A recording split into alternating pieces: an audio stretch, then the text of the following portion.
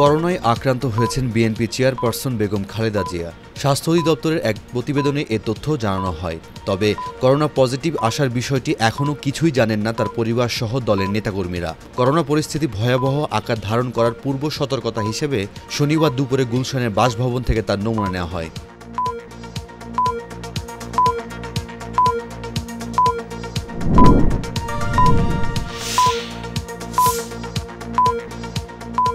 আগামী বারো ও তেরো এপ্রিল পরবর্তী নির্দেশ দেওয়া না পর্যন্ত দূরপাল্লার যাত্রী পরিবহন বন্ধ থাকবে বলে জানিয়েছেন আওয়ামী লীগের সাধারণ সম্পাদক ও সেতু মন্ত্রী ওবায়দুল কাদের। সকালে গণমাধ্যমকে তিনি এ কথা বলেন। এদিকে আজ শেষ হচ্ছে প্রথম দফা লকডাউন আগামী চোদ্দ এপ্রিল থেকে শুরু হবে অপেক্ষাকৃত কঠোর ও সর্বাত্মক লকডাউন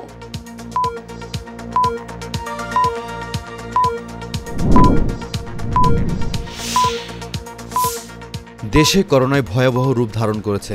কুর্মিটোলা জেনারেল হাসপাতালে কোভিড উনিশের জন্য নির্ধারিত দুইশো পঞ্চাশ বেড থাকলেও সকাল পর্যন্ত রোগী ভর্তি হয়েছে তিনশো সাতাশি জন। দশটি আইসিইউ বেডের সবকটিতে ভর্তি হয়েছে রোগী। সকাল থেকে শত শত রোগী আসছে হাসপাতালটিতে। এদের মধ্যে শারীরিক অবস্থা বিবেচনা করে ভর্তি করা হচ্ছে। করোনা পরীক্ষা করাতে লম্বা লাইনে অপেক্ষা করতে দেখা যাচ্ছে।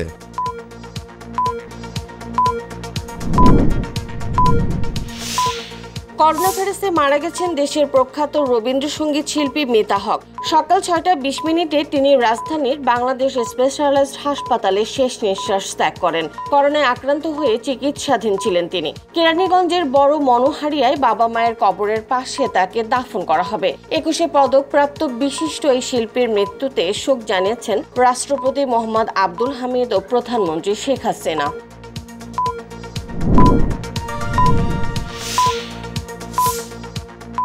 সংক্রমণ মোকাবেলায় সাত দিনের শিথিল লকডাউন শেষ হচ্ছে আজ। আবারও সরকারের পক্ষ থেকে লকডাউন ঘোষণা করা হয়েছে। সংক্রমণ ও মৃত্যু বেড়ে যাওয়ায় চোদ্দই এপ্রিল থেকে কঠোর লকডাউন হতে যাচ্ছে। গণপরিবহন না পেয়ে অ্যাম্বুলেন্স, মাইক্রোবাস, প্রাইভেট কারে করে অনেককে বাড়ি ফিরতে দেখা যাচ্ছে।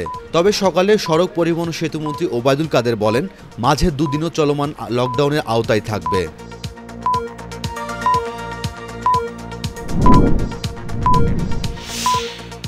প্রতি বছর রমজানের আগে নিত্য পণ্যের দাম আকাশ ছোঁয়া হয়ে থাকে।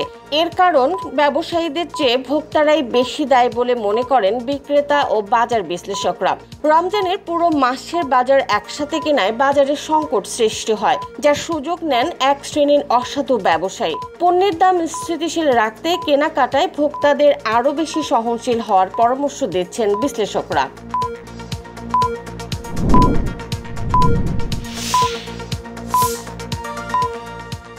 হবিগঞ্জের লাখাইয়ে গ্রামবাসী গণপিটুনিতে নিহত হয়েছে সন্দেহভাজন দুই ডাকাত। ভোরে উপজেলার গণিপুর গ্রামে এই ঘটনা ঘটে। পুলিশ জানায় পাঁচ ছয় জনের একটি দল গ্রামের জালাল মিয়ার বাড়িতে হানা দেয়। পরিবারের লোকজন তাদের উপস্থিতি টের পেয়ে চিৎকার শুরু করে। পরে গ্রামবাসী ধাওয়া করে দুজনকে ধরে ফেলে। এ সময় উত্তেজিত জনতার গণপিটুনিতে ঘটনাস্থলেই তাদের মৃত্যু হয়।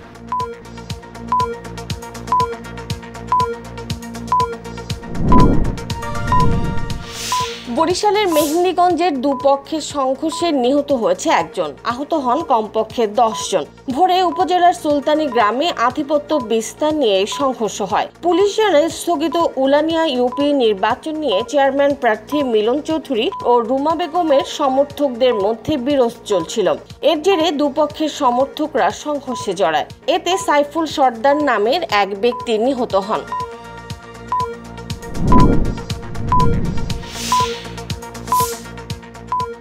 ফ্রান্সে আঠারো বছরে কম বয়সী নারীরা প্রকাশ্যে হিজাব পড়তে পারবে না বলে দেশটির সিনেট একটি বিল পাশ করেছে। বিতর্কিত এই বিল পাশের পর থেকে সামাজিক যোগাযোগ মাধ্যমে ব্যাপক তীব্র নিন্দা ও সমালোচনা শুরু হয়। বিচ্ছিন্নতাবাদ বিরোধী এই আইনের উদ্দেশ্য হচ্ছে দেশের সেকুলার ব্যবস্থাকে গতিশীল করা। এদিকে ফ্রান্সের তরুণ মুসলিম নারীরা এ বিলের বিষয়ে প্রতিবাদ জানিয়েছেন।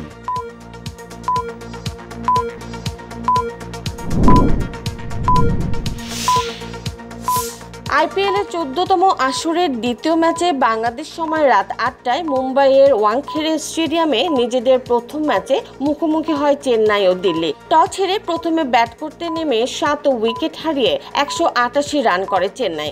এ রান তাড়া করতে নেমে ধাওয়ানের দুর্দান্ত ব্যাটিংয়ে আট বল বাকি থাকতে সাত উইকেটের জয় নিয়ে মাঠ ছাড়ে দিল্লি।